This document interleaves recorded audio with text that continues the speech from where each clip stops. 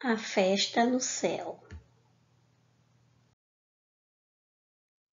Os bichos da floresta foram todos convidados para uma festa no céu. As aves ficaram alvoroçadas e muito alegres, pois não teriam problemas para chegar até lá. A bicharada que não voava estava muito triste por não poder ir, mas teve de se conformar.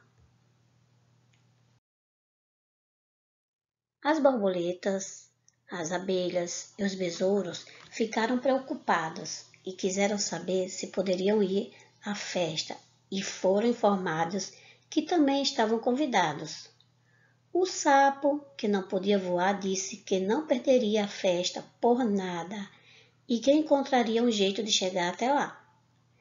Ninguém acreditou nele, nem o urubu, que era seu melhor amigo pois todos sabiam que seria impossível para um sapo chegar lá. No dia da festa, logo pela manhã, o sapo foi visitar o urubu.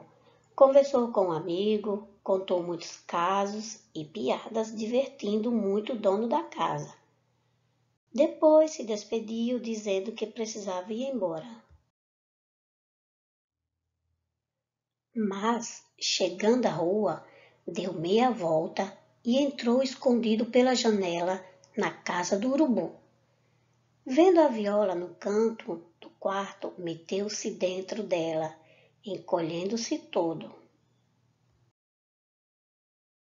Mais tarde, o urubu, sem desconfiar de nada, colocou a viola nas costas e voou para a festa Chegando ao céu, colocou-a em um canto. Quando o sapo percebeu que não havia ninguém por perto, pulou fora e foi se divertir.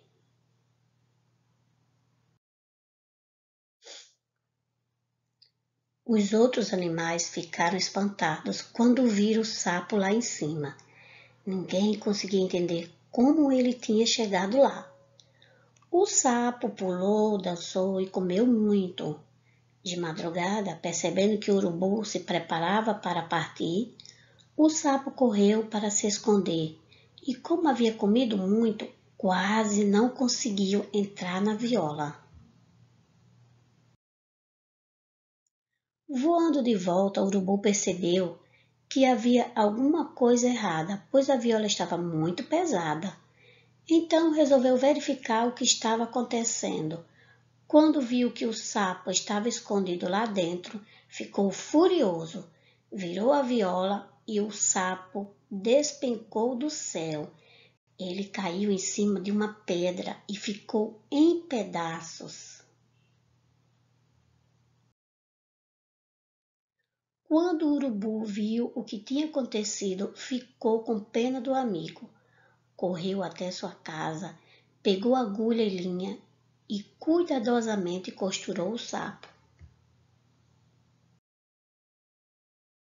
O malandro que estava desmaiado acordou assustado. Agradeceu ao urubu e saiu correndo pulando. Festa no céu? Nunca mais! gritou o sapo sem olhar para trás. Dizem que é por isso que o sapo tem o corpo achatado e todo remendado. Fique por dentro da história, acesse o link com as atividades na descrição do vídeo.